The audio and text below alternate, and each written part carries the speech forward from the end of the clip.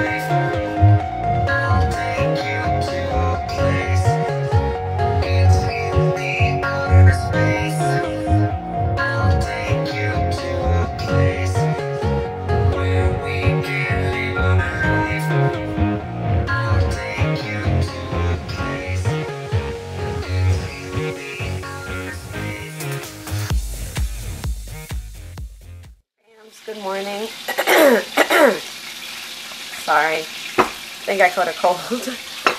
um, yeah, good morning. It is now Sunday.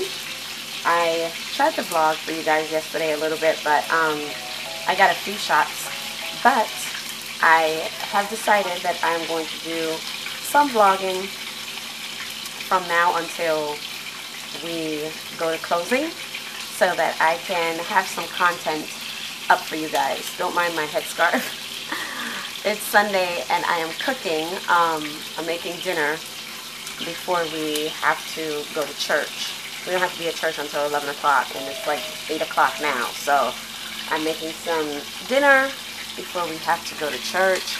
And just wanted to say hi to you guys. Hope you guys are having a fantabulous Sunday morning. And I hope you're having a great weekend as well.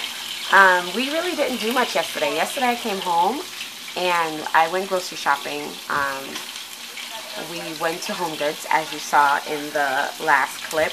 We also went to Hobby Lobby, but I didn't vlog in Hobby Lobby because it just was like overwhelming. Hobby Lobby is overwhelming a little bit. Um, it just was a lot of stuff to take out the camera and and vlog they were having, or they are having, like their 50% off and 90% off of Easter stuff. Um, and I'm actually going to show you what I got because I did pick up a few things um, from their Easter. I picked up like some pink plates that was like originally $9.99 each and I got them at 90% off. So I paid $4 for four plates, which was like a steal. And then I got like a, a summer garland and I picked up a few things from the Salvation Army yesterday so I'm going to show you guys um, what I did get and I'm keeping them in the bag of course because we're still packing That's the reason why I really don't want to go out and shop or look in, into the stores because I don't want to have to buy anything though I can you know control myself um, but you know, sometimes you see those little bargain things and you know that it's not going to be there again. So I did pick up a few items and I picked up like a um, canvas for my daughter for her room. Um, this canvas represents her, in my eyes, 100%. So I picked it up for her as like a little reward gift because she did excellent in school. Um, she killed it. All my kids, they killed it in school, which I am so proud of them. My son got a reward. He went to the Avengers movie because he killed it as well. He has like a 98 average, um, and my daughter has a 97 average. So I'm so, so, so happy for them. I'm so proud of them. So I just wanted to reward them for that. Um, and then we went grocery shopping and came back home, unpacked the groceries. My husband and my son, they mowed the lawn before it started raining. And then um, I took a nap. I went to sleep like after 6. I was so tired and my leg was hurting me for some reason. So I went to sleep and I got up like after 11 last night. I had some um, work that I had to do. I hope you guys can hear me. but I had some work that I had to do for church. So I got that done. I got that done. Um,